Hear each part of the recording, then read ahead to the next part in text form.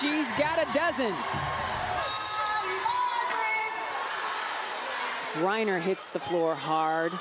Let's make sure BG is okay.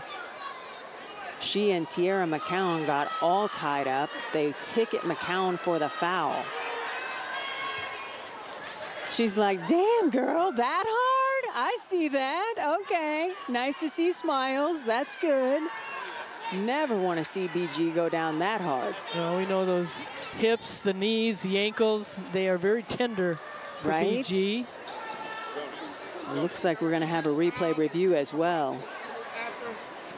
She get hit in the face. Brittney Griner. Her in second. the stomach. It was kind of hard to tell on They that replay. called the personal foul on Previous Griner. play is currently under video review And so- for a possible hostile act. This is under review for a possible hostile act. Well, we saw it seemed like that there was an elbow thrown, but it's very difficult to tell. Here we see coming down and Griner trying to get around the side. And then Griner just goes down, but that's her foul. Because She- she- is ticketed. She grabs McCowan right there on the arm. And as she turns the shoulder, I don't know whether the shoulder hits her in the hip or the shoulder, or it's hard to tell, but you know, Griner is going to, as you said, get called for the foul where the the foul by McCowan